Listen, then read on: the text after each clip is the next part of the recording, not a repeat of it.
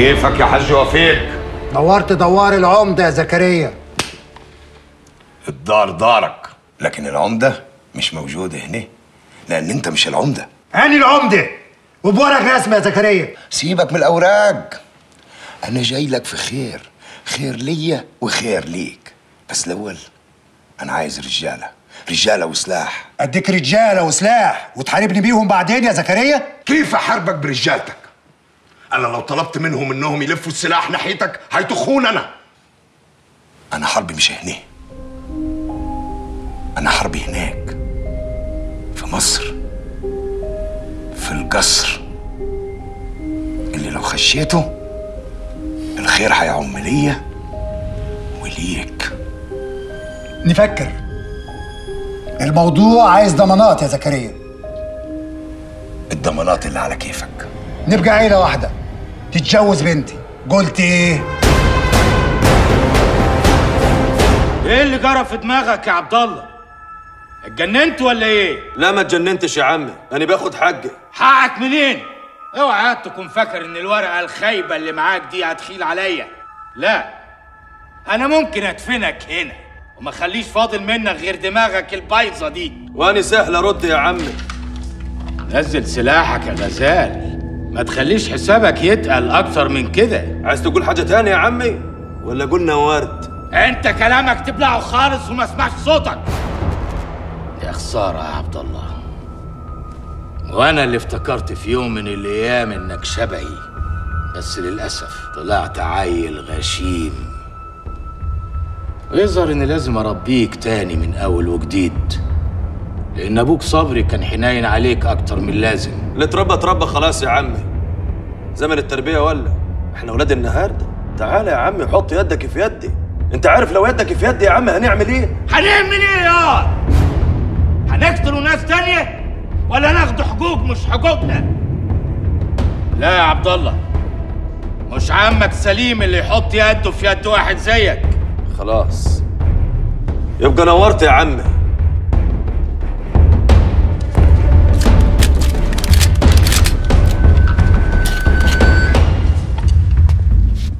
وماله نورت نورت يا عبد الله بس هنتقابل تاني. هم؟ هنتقابل تاني. وساعتها هتندم على اليوم اللي انت شديت فيه عن العيلة. سلام! لأهل السلام. لكن أنتوا أهل نار. وهتولع فيكم.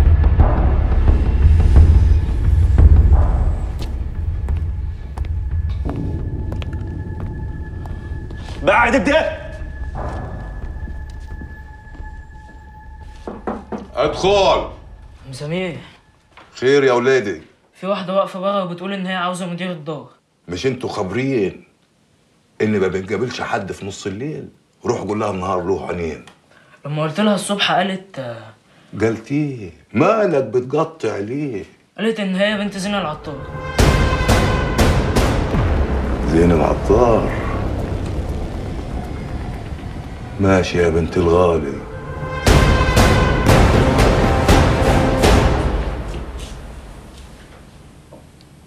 مالك يا حبيبي؟ لا ما, ما فيش حاجة بس بركز شوية. بقول لك إيه؟ اعملي لي فنجان قهوة قهوة؟ القهوة قدامك اهو وانت ما شربتش منها حاجة دي حتى بردت. معلش مش بركز هو انت لما رحت الوفيق قالك حاجة ضايقتك؟ لا لا لا. ما تشغليش بالك انت ما فيش حاجة. هو انت ناوي على إيه؟ كل خير إن شاء الله. رؤية مش عايز حد ياخد باله. ها؟ حاضر.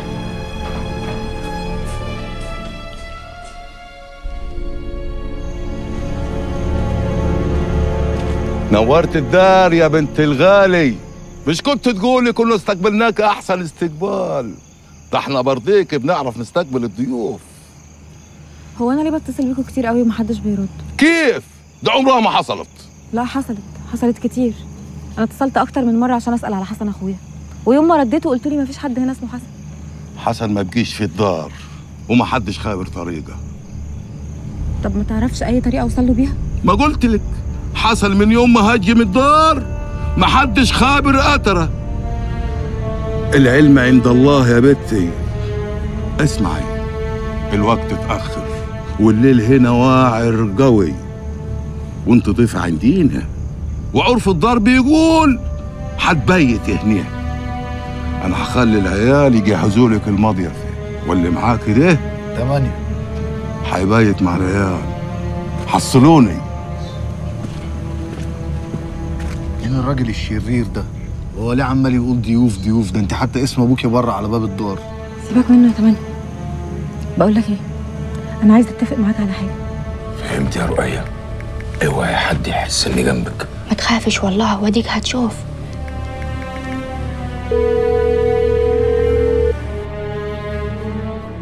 ألو؟ مين؟ ازيك يا هايدي؟ أنا رجية. رجية بنت زينب العطار. عايزة مننا إيه تاني يا رؤية؟ استني بس أنا ماليش دعوة بحاجة. أنا وأبوي مش موافقين على اللي امي عملته. وخالي صبري كمان مش موافق. أنا قلت أتصل أعرفك وأطمن عليكم. أنتوا بخير. يعني عاجبك اللي عملوا فينا ده؟ إحنا هنا ما عارفينش حاجة. طمنينا عليكم كلكم بخير. والبت عالية بخير. عبد الله يا ستي طردنا من القصر. وضرب نار على حازم في رجله. وحاجز سلمى عنده. وعالية كمان معاهم هناك. ما دخلتنيش ليه معاك يا عمي؟ ما كنتش ضامن رد فعلك. بعدين أنا كمان مش عايز أخلق مشاكل أكتر من اللي إحنا فيها. يا عمي أنا كنت هسكت. ما أنا بكبر بيك. المهم ناوي على أنا كنت عارف إن أنا لا هاخد لا حق ولا باطل إنما برضو كان لازم أعمل الزيارة دي علشان لما طربقها على دماغه ودماغي اللي معاه كلهم أبقى عملت اللي عليا. ما قلتليش يعني مفيش أي كلام عن ال interview مفيش رد فعل. دي ناس كتير جو م share ة الفيديو بتاعك يعني وناشرين الصورة الحقيقية. انت عارف الفيديو ده عامل كام مشاهدة على اليوتيوب؟ كام؟ لا ما عارفش أنا بسألك انت كام؟ طب اخرس. اصل يا عم ناس كتير كلموني. بيقولوا لي مبروك لعم سليم مبروك لعم سليم مبروك لعم سليم. كأنك نجحت في الثانوية العامة يعني. بس الناس كلها يا عم بتقول إنك الظلام. طب كويس. كويس. الله صحيح قول لي يا عم. إيه المكالمة العالمية اللي جاتك دي؟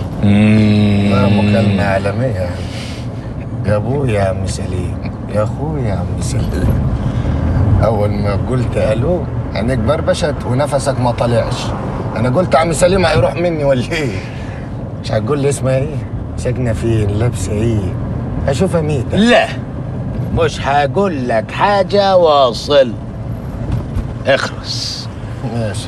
المصيبة يا فارس إن أنا كمان مش عارف أوصل لها. كل ما أكلمها تليفونها مقفول. مكفول ولا غير متاح؟ بس هي خدمتنا. الناس كلها بتتفرج على الحلقة. وكله بسبب مين؟ بسبب الجو. جو إيه يا دي الكلام القديم ده. قديم. تليفون يا عم أنا جاي لي تليفون. أنا جاي لي تليفون ما تتكلمش. ثواني يا عم ما تتكلمش خالص جاي لي تليفون. أهو. سامع سامع. رد. ألو. آه سارة. إيه يا عم فارس. خير يا عم سارة. بقول لك إيه؟ أنا عايزاك كده في مصلحة على المشي. بص يا سيدي أنا عايزه أعمل معاك حوار صحفي. إيه رأيك؟ معايا أنا أيوه. ما هو الفيديو اللي عمك سليم عمله قلب الدنيا وأنا بقى لازم أستفيد وأعوض ال 120 جنيه. ده كله بسبب حلقة عم سليم. بالظبط كده. مصلحك دي من أولها. ما هو يوم ليك ويوم عليك. ويا عم تبقى ردتها لي ولا إيه؟ لا يا ست. ماشي. طب إيه هظبط وأشوفك ولا عايزه على التليفون؟ لا المهم أشوفك ونتقابل. خلاص اتفقنا. هظبط وأكلمك. ماشي. سلام يا معلم. سلام سلام. مين دي؟ الجو؟ الجو؟ الجو القديم ده يا عم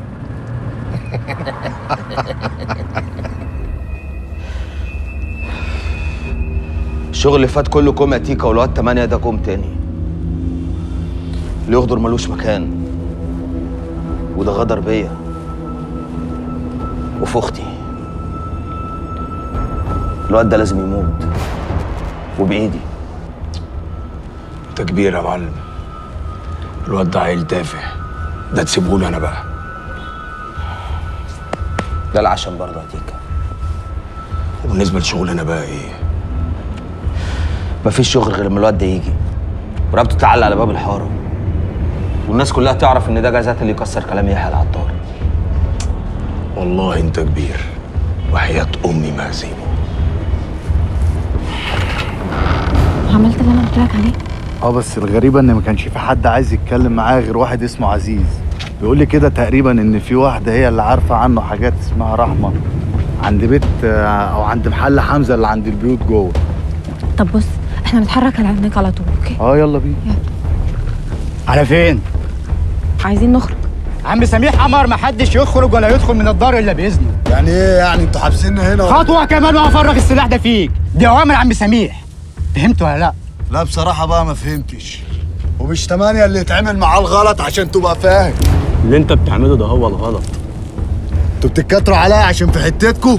ما تنشفش أمين. يعني أنا محبوسة هنا ولا إيه يعني؟ مين قال؟ انت ضيف عندينا. واكرام الضيف واجب ضيفة إيه؟ أنا مش فاهمة. يعني أنت قاعدة هنا معززة ومكرمة.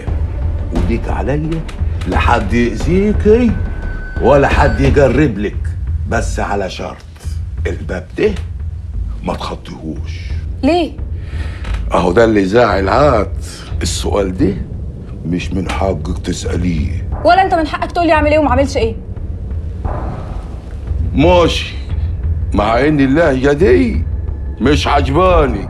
ما هو لازم دلوقت تعرف أنت بتكلم مين. الخريطة اتغيرت والدنيا اتشقلبت. سبحانه! طب فين تمانية؟ الواد اللي معاكي ده ما ترباش. رفع سلاح. وعرف الدار اللي يرفع سلاح تنقطع يده. بس أنا قلت كفاية عليه حبس ليلتين قولي لي ليه؟ عشان انتي بنت الغالي.